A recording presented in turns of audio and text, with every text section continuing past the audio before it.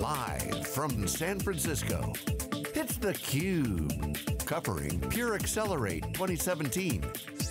Brought to you by Pure Storage.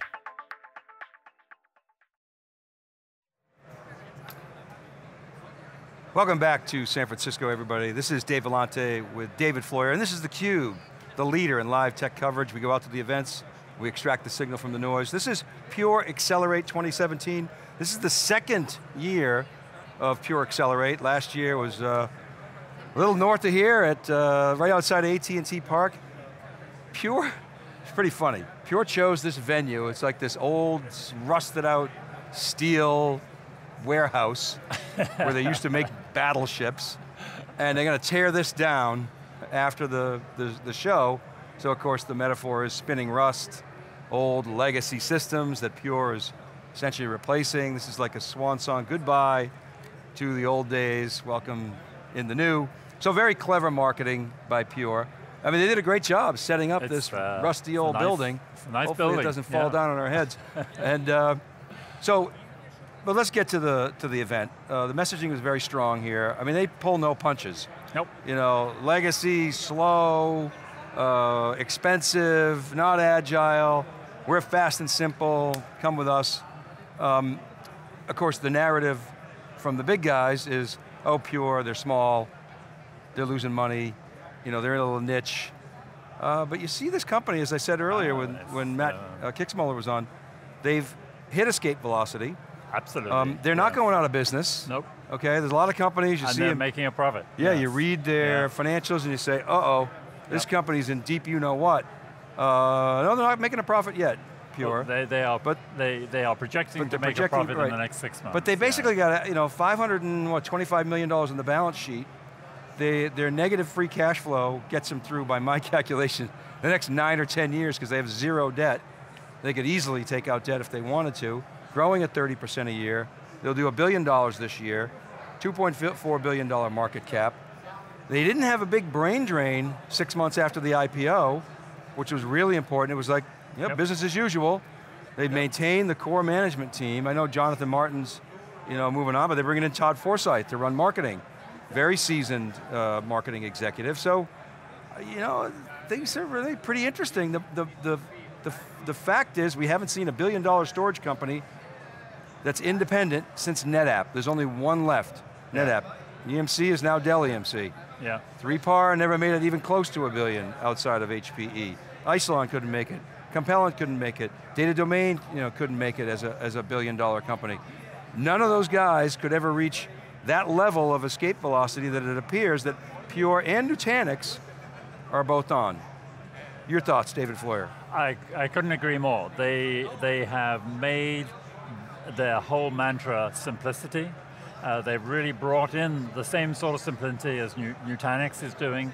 Those are the companies that seem to have been uh, really making it because the, the fundamental value proposition to their customers is you don't need to put in lots of people to manage this. It'll manage itself. And I think that's, they've stuck to that uh, and they have been very successful with that simple message. Obviously, taking a flash product and replacing old Rust with it is, makes it much simpler. They're starting off from a very good starting point. But they've extended that right the way up to a whole lot of cloud services with Pure. Uh, they've extended it in their whole philosophy of how they put data services together. I'm very impressed with that. It reminds me of actually the early days Of of, NetApp. of no of, of, of NetApp and also of uh, uh, the, the, the three uh, three par. Oh, yeah, yeah, early absolutely. days. Very, Simplicity, very simple. great Yeah. storage services, tier one. right. When I say NetApp, I'm thinking you know, simplicity and ser- services the, as uh, well. yes. But Yeah. I, you know, this is the, the joke that I've been making all week is that you talk to a practitioner, you say, what's your storage strategy? Oh, I buy EMC for block, Exactly. I buy NetApp for file. Right. And Pure is sort of not only challenging that convention, but they're trying to move the market to this big data and, and, and analytics. Um, and they also have a unique perspective on converged and hyperconverged. They kind of deposition hyperconverged as, you know, okay for certain use cases, not really scalable, um, not really applicable to a lot of the things we're doing. you know, Nutanix could might even reach a billion dollars before Pure, so Well, I- it's going to be interesting. I, I think they have a, a second strategy there, which is to be an OEM supplier Uh-huh. uh, for their work with Cisco, for example. Yeah. They're an OEM supplier. They're, they are bending to the requirements of being an OEM supplier, and I think that's their way into the hyperconverged market is working with certain vendors, certain areas, providing the storage in the way that that, that uh, integrator wants and, and acting in that way. And I, I think that's a smart strategy. I think that's the way that they're going to survive in their traditional market. But what's to me interesting anyway is that they are really starting to break out into different markets, into the uh, AI market, into flash for big data, into that type of market. And with a very interesting approach, which is you can't afford to take all the data from the edge to the center, so you need us, and you need to process that data using us because it's in real time these days, you need that speed, uh, and then you want to minimize the amount of data that you move up the, the stack to the center. I think it's a very So- interesting strategy. So they're competing against you know a lot of massive companies. I mean, and they're competing with this notion of simplicity, some speed and innovation in these new areas. I mean, look at compare this with with you know EMC's portfolio now, Dell EMC's portfolio. Um, it's never been more complicated, right? But they got one of everything. Yep. You got a massive distribution channel. Uh, they can solve a lot of problems. HPE, a little bit more focused uh, than Dell EMC. Really going hard after the edge. Yep. So they bring some interesting competition there. And they bring Um, the server side, which is... and- uh, and as yeah. does Dell. Yes. So they got servers, right? Which is something that uh, Pure has to partner on. And then IBM, it's like, you know, they kind of still got their toe in infrastructure, but you know, their Ginny Rometty's heart is not in it, you know, It's- but they it's- it's- they the have it, they can make money yeah, at it, yeah, and you know, it's, yeah. they're making it software defined, but, Yeah. and then you got a lot of little guys kind of bubbling. Well, Nimble got taken out, uh, Yeah. Sim- Simplivity, which of course was, was converged, hyper-converged.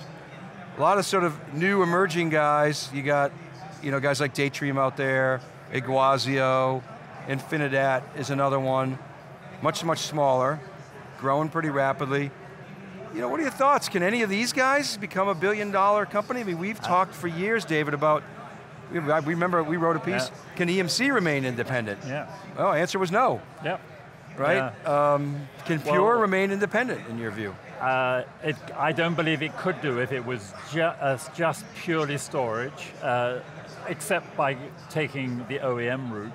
But I think if they go after it as a data company, as a as an information company, an information processing company, and, and focus on the software that's required to do that, Right. along with the processes, I think uh, they can. Yes, I think there's room for somebody. Well, you heard what Kick said. Yeah. Uh, Matt Kixmoeller said, we might have to take, take storage out of the, the name. the name, that's right. Maybe. Yeah. yeah. Right. I think they will, yeah. So they're playing in a big TAM. I mean, the TAM's enormous. So let's talk about some of the stuff we've been working on. Uh, the True Private Cloud report is hot. Yeah. I think it's very relevant here.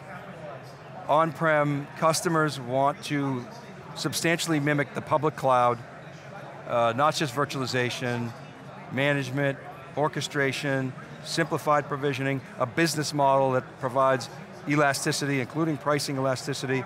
HPE actually had some interesting commentary there on their, uh, their on-demand pricing, Right. uh, not just a rental model. So they're doing some interesting things. I think you'll see others follow suit there.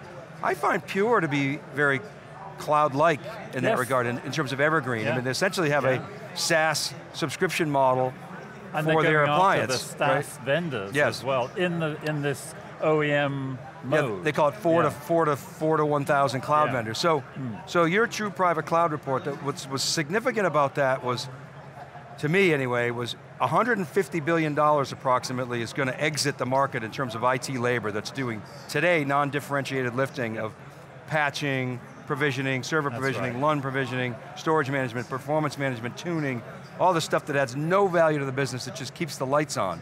That's going to go away and it's going to shift into public cloud Yep.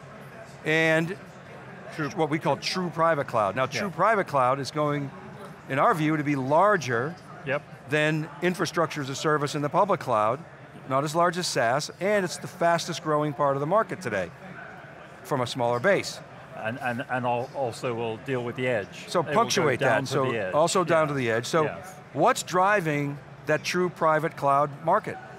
The, the, uh, what's driving it is IoT to a large extent because you need stuff to be low latency. And you need, therefore, private clouds on the edge, in the center. Data has a high degree of gravity, it's difficult to move out. So you want to move the application to where that data is. So if data starts in the cloud, it should stay in the cloud. If it starts in the edge, you want to keep it there and let it die, most of it die there.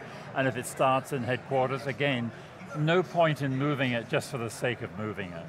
So uh, where possible, private cloud is going to be the better way of dealing with data at the edge and data in headquarters, which is a lot of data. Okay, so a lot of announcements here today, NVMe and NVMe over Very Fabric, interesting, uh, you know, pushing hard into file and object, which really they're the only ones with all flash doing that. Uh, I think, again, I think others will follow suit once they ha start having some success there.